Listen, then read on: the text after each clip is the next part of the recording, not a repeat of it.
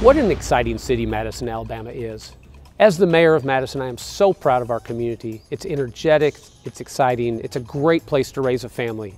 It's our home. And we continue to add value in multiple areas. And one of the best areas the council has supported is our Madison Community Center. It houses our senior center, but it also gives our community so much more to enjoy. What I'm most excited about the community center is that it is going to appeal to everyone.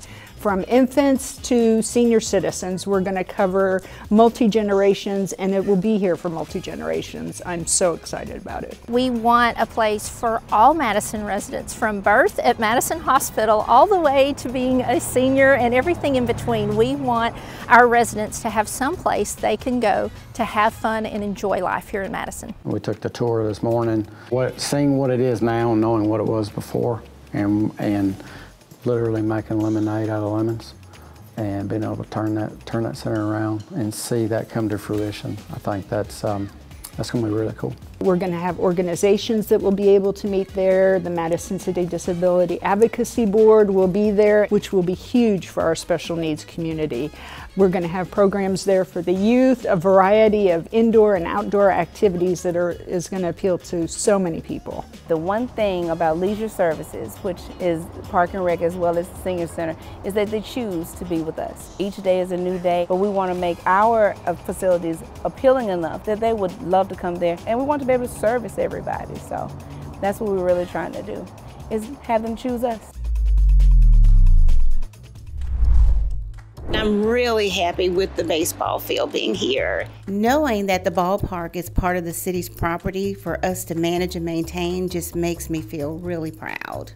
That is such a wonderful development for the entire city. We have a great place for people to have fun, uh, have recreation, restaurants, and to live. We went from cotton fields to now I'm sitting in the Trash Panda Stadium, so it's really grown. Town Madison continues to grow. Our Madison Wellness Center offers additional baseball fields, soccer fields, pickleball courts, gyms, aerobic studios. This investment absolutely takes Madison's recreation programs to the next level. When I ran on council my first time, I said everybody lives in Madison, but they shop and eat in Huntsville.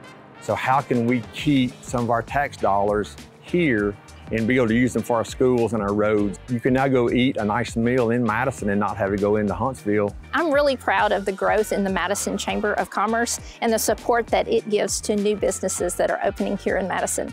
It's like almost every week we are cutting a ribbon on some new business. Well, now you get into Madison, uh, the district, and you come on a Friday and Saturday night, Main Street's full. We've got multiple shops that have opened in. We have uh, boutiques that are opening. We just have a new bookstore that's open up. We benefit from where we're located, from all our agencies and surrounding cities. Uh, you know, North Alabama is the economic engine of Alabama. Our Madison Chamber has has really picked it up these past few years. They support our businesses so much. I'm really looking forward to the completion of the I-565 interchange that will bring people into town Madison and to the fact that we're going to be able to bring more people in there a little more easily is only going to help all of Madison. You know, we're repaving all of Madison Boulevard right now. We got the roundabout coming in at Prairie Green and Browns Ferry, so that roundabout will help us move the traffic quicker there. We're looking at our roads and what are the most needed improvements that we can do to help our citizens.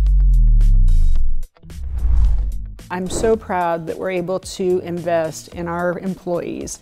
Our employees are our greatest resource and we value each and every one of them. It makes us not only competitive as far as recruiting new employees, it helps us to retain our current employees and make sure that we are fully recognizing the work that they do and compensating them appropriately. And all at the same time, not uh, absorbing healthcare premium increases. We don't want to be a revolving door. We want employees to come here and stay here and, and make it a career here.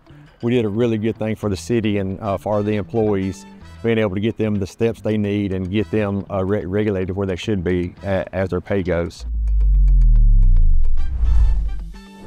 Hi, I'm Mary Lynn Wright with President of the Madison Hospital, and this is my friend Apple. Apple is our therapy dog, and she's one of the things that makes a real difference at Madison Hospital for anybody that comes to see us. You know, whether you need emergency care, whether you're coming here to have a baby, to have surgery, we want to make a difference for you, and we believe that's what we do, and we're honored to take care of the city of Madison. It is a safe place to live and to raise your family. We're so proud of the work of our fire department and our police department in keeping all residents safe. Now growing into building 23A, which is going to be our new public services facility. So what 23A does for us, it's first of all, gives us a presence in town Madison. As far as the investment, it, it also expands our area for our police and our fire. It gives them more training space. It provides more office space. It just helps them do more of what they do and get better at doing it. I am particularly proud of the work of Public Works because whenever there's a weather event here in Madison, we have people out in early hours of the morning making sure that they're going to be able to clear roadways, clear trees of power lines and things like that. So we have, they work behind the scenes, but we have a great Public Works department. Speaking of public safety, even though we continue to grow, we feel like a small town. I think everybody feels safe just walking, walking around the neighborhoods, just walking around town. Um, it, it, it still has that small community feel. Madison has made huge investments when it comes to safety and health, but I'd like to spotlight one more. Last year, we installed a baby box at Fire Station 1. This allowed opportunity for mothers to make the toughest decision that they would ever make and this year alone, three mothers have made that tough decision and three lives were saved. It's just one more area that supports an incredibly strong quality of life. Our school system continues to deliver and this year they have delivered 38 National Merit semifinalists. That is not only a school system record, but a state record. So they are doing their job in Madison. We want to make sure we do ours to support them. We've got diversity. There's over, there's 59 languages spoken in our schools.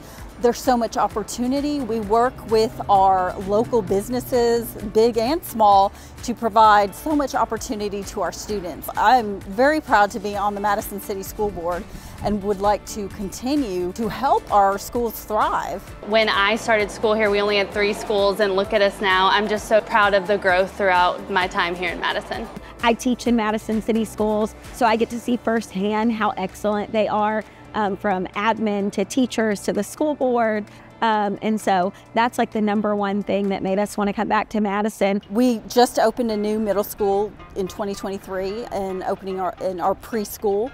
And then uh, we're, we're actually scheduled to open a elementary school in 2026. Our um, school system has done a very good job of doing our career technical education and building our academy system. We've got Medical Academy, Engineering Academy, Green Building, we've got um, culinary, we've got highly ranked theatrical arts and, um, and fine arts programs throughout all of our schools. They start some of these programs down in our elementary schools so that our children can have that experience all the way through their academic careers. Really excited about Sunshine Oaks. I mean, to be able to find 40 acres right in the middle of town is just a blessing for everybody. Got disc golf coming in, we've got playgrounds for younger kids, we've got picnic pavilions. It's just a really nice open space for people to enjoy. New Kids Kingdom, uh, I love the modern developments that they've added to the park. Um, and they made it so open so I can keep an eye on my kids no matter where they are, where I am in the park. Being able to have any child, whether there's a disability or not, be able to come play and enjoy, that's the point of having a playground. I appreciate that Madison puts a lot of efforts towards developing the green spaces and the parks because our family loves being able to walk out the back door and ride our bikes to the greenway and all of it feels like it's right in our backyard. Parks, greenways, you know, having those conversations together, being able to spend time together. We're investing in people bonding and, and getting closer together. The state of the city of Madison, Alabama is strong and it continues to get stronger. The mayor and council, supporting our department heads and employees, haven't rested. We continue to add value in public safety, in recreation, in economic development, all of which leads to an improved quality of life. I am so happy to have planted my roots here in Madison, and I am so proud our family calls Madison, Alabama home.